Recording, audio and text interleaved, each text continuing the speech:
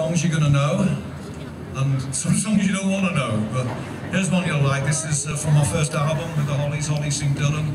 This is a song called I'll Be a Baby Tonight.